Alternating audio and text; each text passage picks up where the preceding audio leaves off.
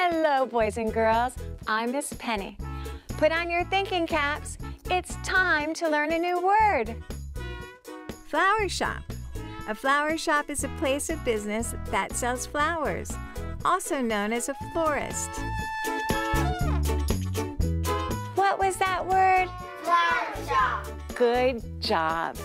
See you next time.